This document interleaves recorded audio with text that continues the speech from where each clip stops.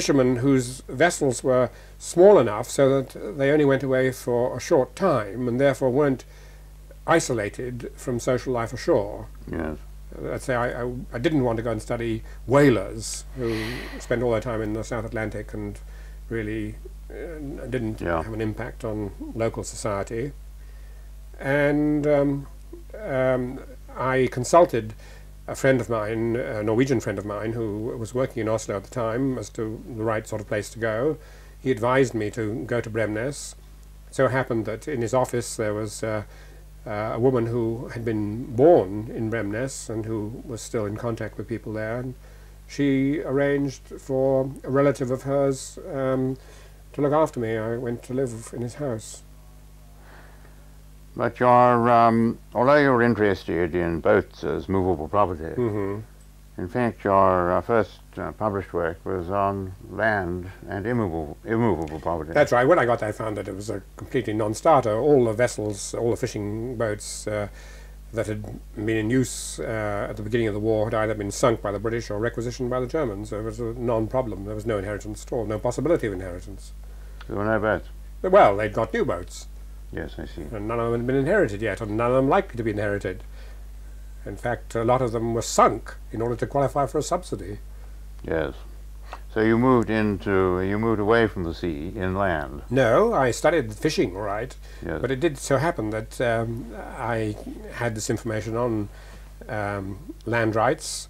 Um, one of the entrenched clauses in the in Norwegian constitution is concerned with the transmission of rights in land, so-called odelsrett, and um, this seemed a fairly obvious place to start.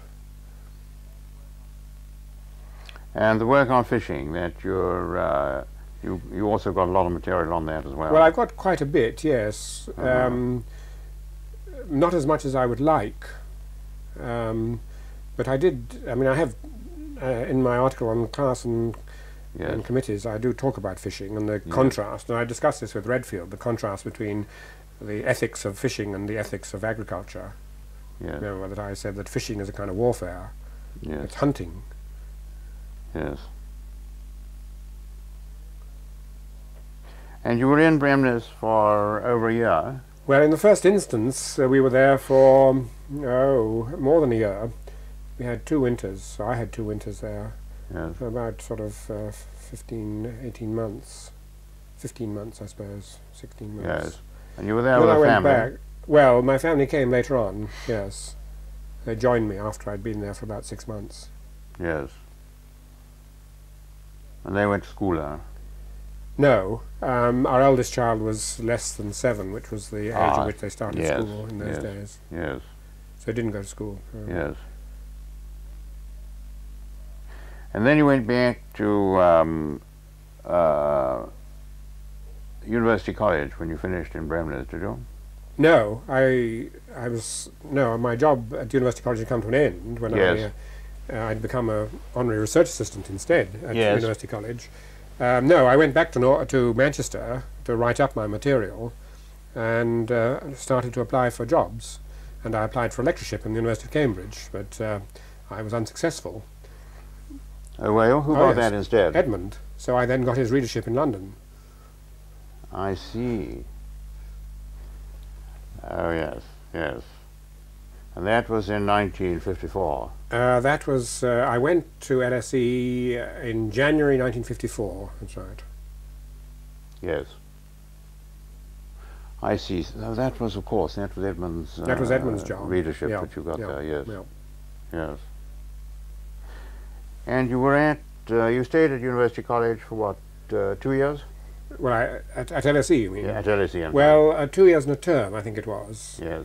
Um, that's right, two years and a term, because I left uh, at the end of the Lent term 56 Yes. to go to Australia. And that was you were working with Firth and Schapera again at that time. That's right, yes. Uh, Schapera just, I think Schapera came perhaps a little after I did, I'm not quite sure, but. Uh, He came about that about, time. About, that time, yes. yes.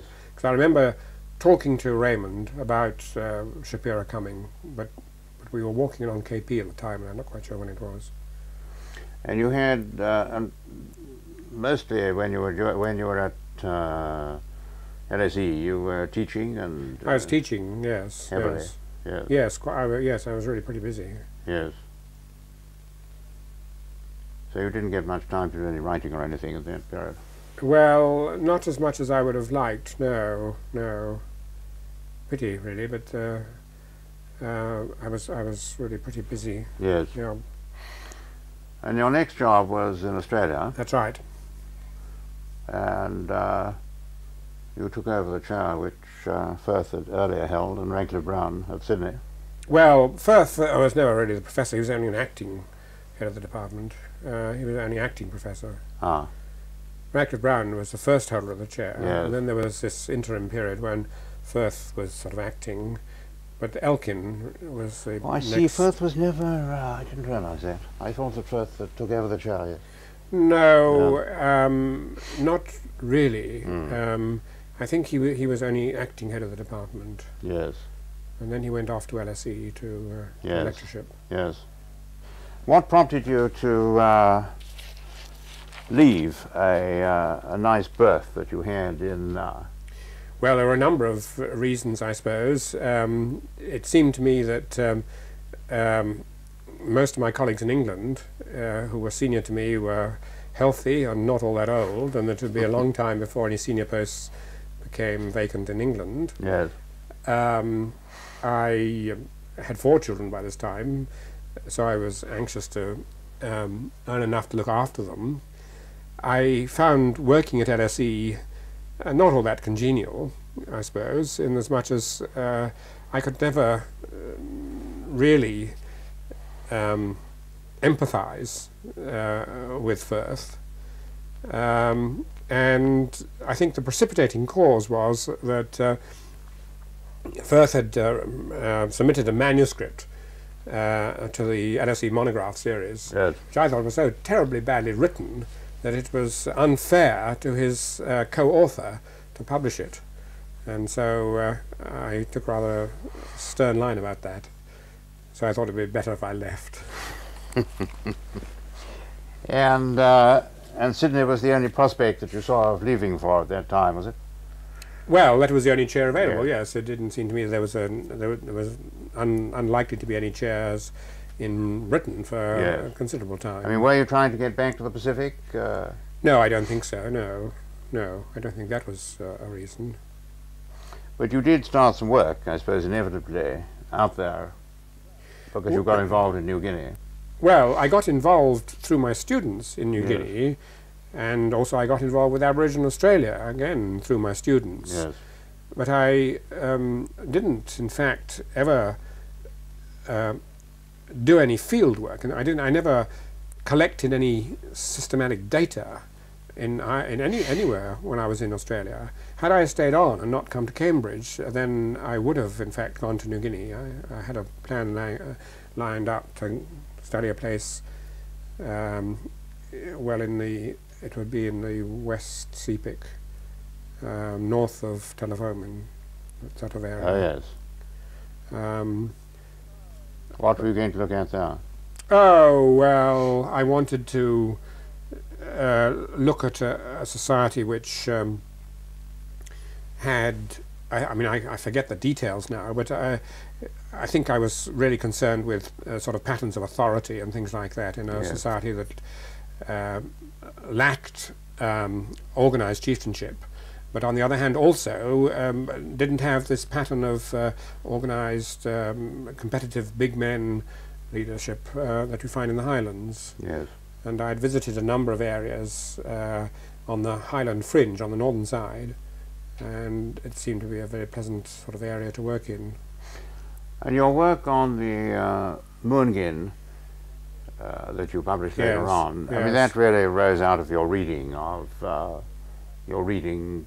Well, I, that's right, and I, I had in fact visited the Murngin, but Yes. uh, or at least uh, one of the bits where the Murngin might be, Mhm. um, because I'd I'd supervised uh, Les Hiatt's work Yes. in in Arnhem Land, so I had actually been there. But Yes. it, it was essentially an intellectual problem. find it very different teaching. Uh, I mean, you just come from the LSE, which was the um, epicenter of anthropology in the 1930s, if Mhm. not in the early 1950s. Uh, and apart from getting away from Sir Raymond and earning more money to keep your numerous family, um, were there any other benefits or costs?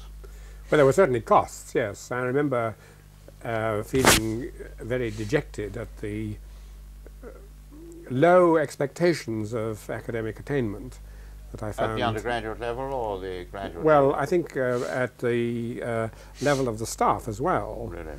I remember writing to Gluckman saying that uh, I'd got this job in Sydney and uh, nobody was going to take the slightest interest in anything I did, and I could sit here for the next 25 years and uh, not write a single paper, and no one there would complain. You felt that?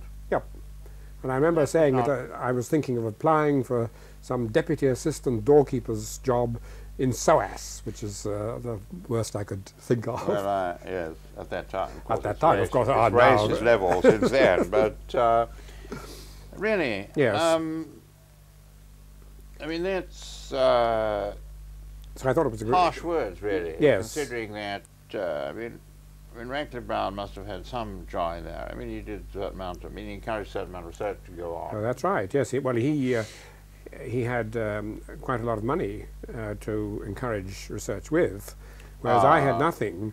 I arrived in Australia at a time when, uh, Penniless. well, when No, the they when the universities were at their lowest ebb. Hmm. Uh, universities then uh, were funded solely by states, not by the Commonwealth. And it was only while I was there in Sydney that uh, the Murray Commission recommended that uh, the Commonwealth government should interest itself in the um, financing of universities, and as a result of that, the Australian um, University Grants Committee, Commission, whatever it was, uh, was set up, and things started to improve. Why?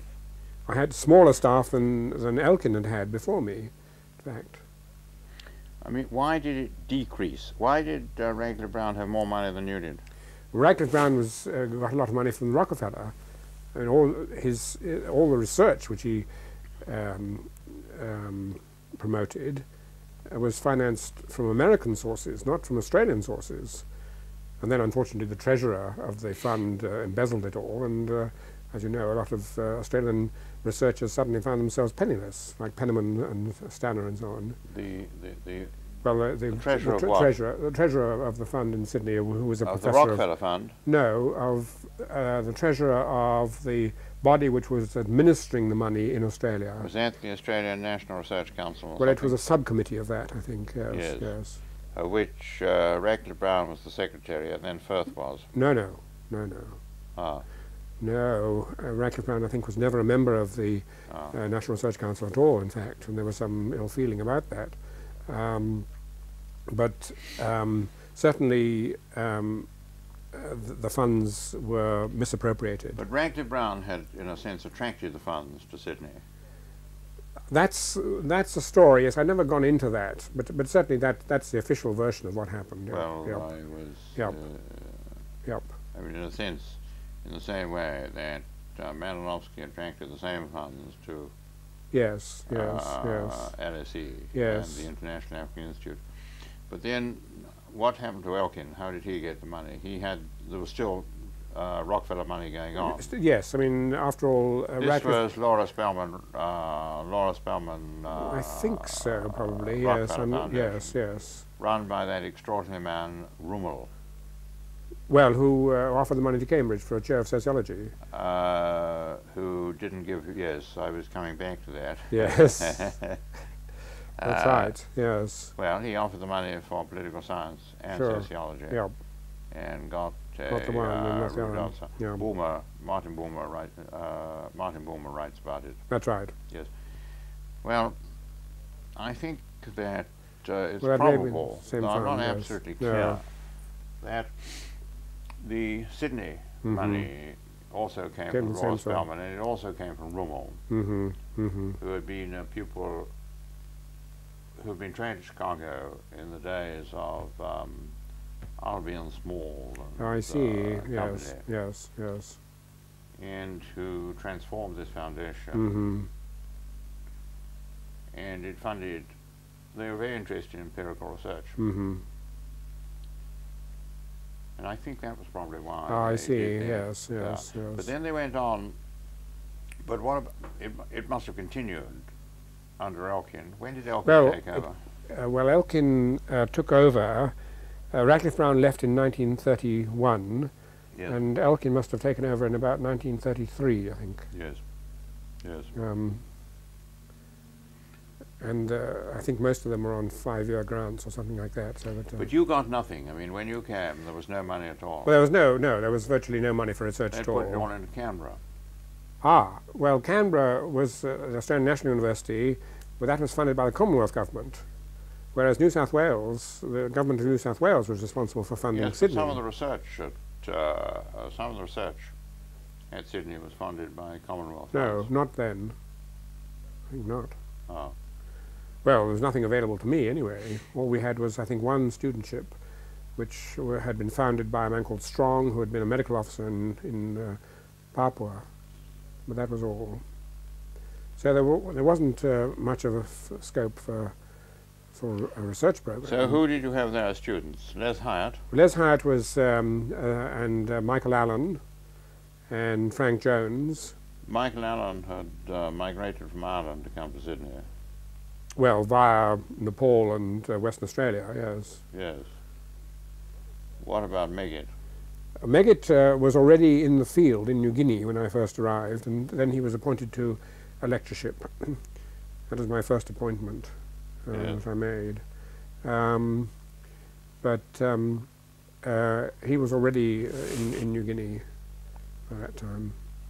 But I mean, with uh, Meggitt, Hiatt, Allen, you had a lively intellectual circle. Well, they were just grad. Um, um, uh, Hiatt was just finishing his undergraduate uh, work, and then went on to to Canberra, where they could offer him a research studentship, which I couldn't have done in Sydney. Yes. Um, and Michael Allen was doing an qualifying exam for an MA, Oh, and I persuaded him to abandon his candidature for the MA in Sydney and also go to Canberra, where there was more money, and where I was going anyway by that time. Oh, you were going by then. Hmm. When did you get? Um, Well, I was in Sydney for two two years and a little bit, about a week or so. but you mean halfway through that period, you were appointed to um, To a chair The in, Australian National yes, University. yes, yes.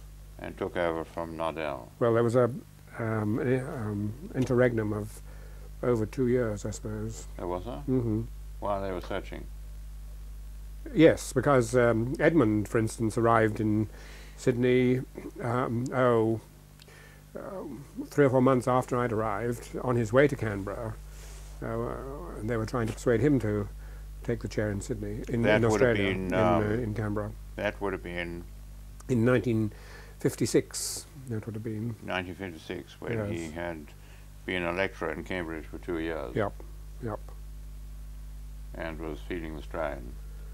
Well, I think uh, he was uh, also um, offered uh, the, uh, uh, sort of a field trip in Sri Lanka on the way, Oh yes. so that uh, um, no doubt he was he, he was interested Offered by by the ANU.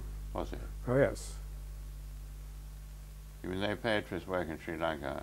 apparently, or enabled him to go there anyway. I mean, he could stop off on the way to Australia. I don't I see. I don't know the details, but I remember him yes, mentioning this uh, uh, as being one of the um, attractions of visiting Australia, quite apart from Yes. looking over the possibility of um, accepting the chair. Yes.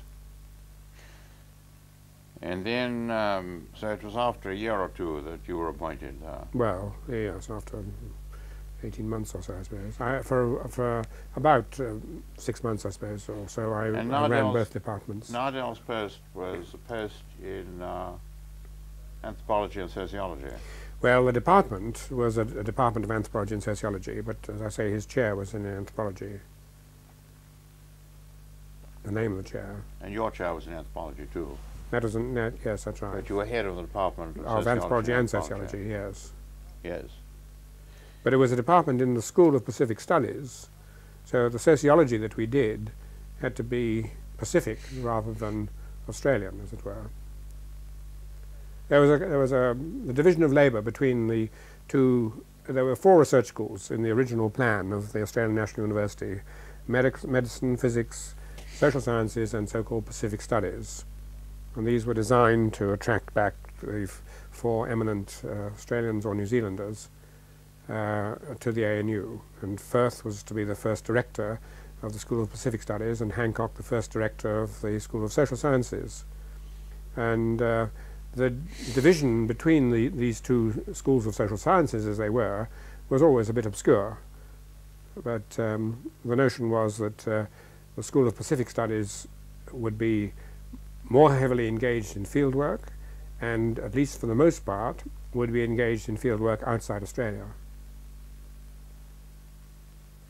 I see. So the Pacific um, uh, began where the social sciences left off. Well, that was its sort of internal boundary, and the external boundary was subject to negotiation. I had some difficulty in persuading my colleagues that uh, uh, a field study just north of the Hindu Kush, north of the Salang Pass in Afghanistan, was part of the Pacific, but I managed to do so in the end. What about the Australian Aborigines? Well, they were again considered part of the Pacific rather than Oh, Australia. they were. So there was In again there was yes, a uh, yes. black-white uh, That's divide right. there. Sure. Yep. So Pacific Studies was kind of browns and blacks, That's right.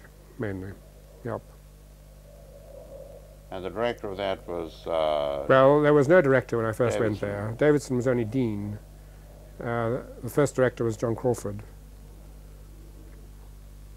He was an economist. mhm. and um, there you were teaching only graduate students, and you had money, That's right. Yes. so yes. you were quids in, That's right. Sure. and so that you had a lot of people coming there, going to the field. Yes. Uh, our budget our budget was made up of about 50% on salaries and 50% on research expenses. working largely in New Guinea. Well, um, not only in New Guinea, um, but we did, uh, I suppose, uh, that was the, the largest uh, concentration, but it was also a department which had archaeology and linguistics in it. Um, and in purely geographical terms, we ranged from uh, the northern part of Afga- Afghanistan to, uh, I suppose, Tahiti. Yes. But uh, it was mostly research, so your teaching was limited. Well, there was no lecturing. Uh, we, we had uh, research fellows and we had research students, but You there were no gave courses. there were no undergraduates. No. Well, the only courses we gave were on things like mapping and things like that. But, but you no, didn't give courses in um, uh, anthropology. no. It was assumed that people who coming to us would have already got uh, MAs or, or BAs at least, good BAs in social anthropology before they began. So it was just seminars of people. Yeah, yeah. Because I remember a man arriving straight from Harvard saying that in the few months uh, that he had before he went off into the field, he wanted to bone up on kinship, as he called it. Yes. I expressed some surprise at this, and he said, "Oh yes, he'd never been to any lectures on kinship in Harvard because uh, I don't know, he'd always been away, or the courses had not been given, and so on." But you didn't uh, give him any of that? I didn't arrange a course of lectures just for this one chap. No. No. So that you were, um, I mean, that was a very um, privileged situation, really. Well, it was privileged for those, uh, uh, for the research students and the research fellows. It wasn't particularly privileged for me running this vast show. There were about seven. I, I once uh, made a tally of the number of people who, if they wanted to commit suicide, would probably come and cry on my shoulder first, and there were over 70 people in this category. Uh, Luckily, they didn't all want to commit suicide at the same time, You mean they were, um, but some of them did. they were um, research students? Well, they were members of staff and secretaries and so on. the yes, whole yes. shooting yes. match. But you were, um, uh, you stuck that for, um, 11 year- years. 11 years. That's right. yes. Um, and then left from the frying pan. Into the fire. That's right. Yes. What made you uh, come back to Cambridge? Well, you may remember that you sent me a copy of the advertisement. Uh, I think probably this is a stage when I need another glass of sherry, but I, uh, yes, I do sort of uh, remember that, uh, yes, yes, I do, uh, yes. Well, uh, leaving aside these personal, On the contrary, how could we leave them aside? yes, Um, but you um, you were very committed to Australia by then. Whatever your um, Well, I was uh, committed. To, I, I, I still am committed to Australia. There's no doubt about that. But um, I thought that I'd been there 11 years. Uh, that if I didn't move then, I probably Yes. would be stuck forever until I retired. Yes. That uh, after 25 years, I would uh, not only find, uh, not only would I find um, Canberra rather boring, but also I would become rather boring to other people. And that uh, 11 years was quite long enough on, in the one job. Yes. Um, I suppose I'm uh, supposed to ask you how you uh, how you found uh, Cambridge. Uh, that Well, would take us to another uh, Another tape. ten reels. That's it would, yes, yes. All I can say is that if I'd known what it was going to be like, I wouldn't have come. well, I imagine that's the point on which we will finish because. um, but um, uh, you would have stayed. But I don't know that I would have stayed. But I don't think I would have. Um, I would have uh, come here. I might. Uh, there was some suggestion at one time that I should uh, switch to sociology in ANU, You mean in the college? in the institute. Yes, but that wouldn't have been any better because you would still be in, a, in an administrative position. Well, that's I right. mean, uh, you've been in administrative positions Yes, since you made the break to um, Australia in 1956, that's right. Yes, yes. and you would have been going to another one, would you? I would have been. Yes, Which yes. would have had the same disadvantages as the anthropology. Yes, it would have. Well, but it uh, it would have been a fresh group and a fresh I set of what you mean. problems and so Yes, on, and uh, you know, different. It would have been in the other research school, and so on. And, um, yes. And there weren't uh, research chairs that you could have gone to, as distinct from administrative chairs. Well, I didn't know of any. No, I would have uh, looked uh, rather keenly at any that I had seen. I mean, it seems a um, a great pity that, um, unlike, say, departments of economics, hmm where you've got one person ministering in about five other chairs, or Yes, yes, yes. or physics or whatever, hmm that in the uh, other social sciences, uh, the professor tends to be Mm. department, so there are Yes. very few research chairs in Yes, that's right. to. Yep. Were there none in Australia? No, not really. No. Um, we managed to get two chairs in my own department. Stanner had one Yes. in the end, but that was uh, at that time. um I think the only oh, perhaps there was one in philosophy, but um, otherwise uh, all departments had only one professor, and the professor was head of the department. And Stanner, of course, is working in the Institute of Aboriginal Studies a great deal. Well, he wasn't actually at that time. No, that that's a rather another another, another rather complicated story as to his relations with uh, Institute of Aboriginal Studies. Um, but um, I mean, he was, I think, understandably reluctant to assume uh, too much of uh, administrative responsibilities in a, when I was still there, as it were. But if you hadn't, I mean, you wanted to leave uh, Canberra after having done 11 years and not wanting Yeah. to sort of. Uh, The other reason why I think I wanted, to, uh, why I was attracted to Cambridge was that you had told me that in uh, Cambridge, unlike a provincial university, professors tended not to be head of departments, and that it was all done for one by, all done by you know the secretary of the faculty board. So I uh, was attracted by this well, that was true in economics, of course. yes, Um, that was true in economics, where it was done in that way. yes, yes, yes. And since at that time you were joining economics, uh, That's right. I maybe uh, extrapolated from that particular model. Uh, I see. Yes. Well, the details of the extrapolation, unfortunately, weren't explained to me. well, Meyer must have given. I mean, I wasn't the only consultant that you. Uh, Oh, no, no, this, no, no, it? no, I no. You must have I was brought up, uh, objective opinion. I was brought up to to always look ask three informative. three informants, and if they say Uh, that you asked Meyer too. yes, I'm not so sure about Meyer. Um, whether I asked him, Edmund. no, I don't think so. No. Um, No, there were there were other reasons. I mean, I, my daughter was uh, over here in England, and uh, to some extent, I had applied for the job only in the hope that I would be interviewed, uh, so that I could get my fare paid to see her. Yes. And then I was trapped, of course, because I was offered the job. Yes. Um, so that I was. Uh, what happened was that um, I thought that she was becoming a hippie, and uh, that I was neglecting my parental responsibilities. yes. But I ought to try and see her, therefore, and I accepted an invitation to contribute to a Festschrift for Levi Strauss, Oh, yes. which was to be, uh, unlike other Festschrifts. of the arrow. Well, that was my contribution, yes, yes. But um, it was to be uh, a seminar was to be held in New York, at which uh, Levi Strauss would discuss with the, the contributors uh, uh, what they had written about him or, or in, honor of him. Yes. Operation Gift Horse, as I called it. Mhm. Um, and when that fell through, I was a bit stuck and wanted still to see my daughter.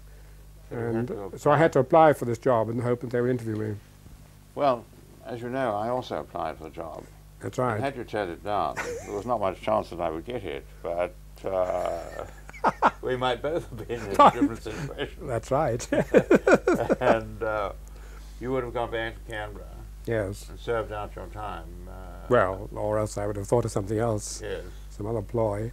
yes. But you really wanted something which wasn't on the administrative side.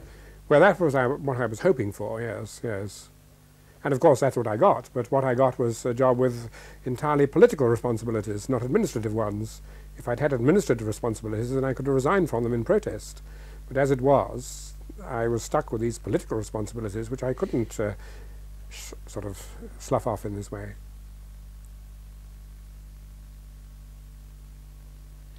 So um, you could have um, retired, as others have done, to Churchill, I could have done, but uh, that would have been. Others have retired to All Souls.